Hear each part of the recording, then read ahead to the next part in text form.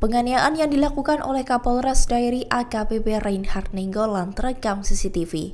Dari rekaman CCTV, pemukulan terjadi pada Senin 28 Agustus 2023, sekira pukul 4 pagi lebih 8 waktu Indonesia Barat. Satu di antara anggota yang dipukuli ialah Bribka David Sitompul. Dalam video CCTV, tampak beberapa personil dibariskan di lapangan. Kemudian Bribka David ditarik oleh beberapa personil bertopi barat biru.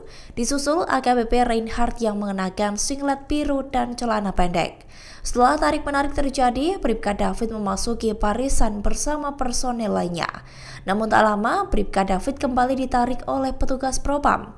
Kemudian Kapolres Dairi memukul area wajah Bribka David menggunakan tangan kanannya.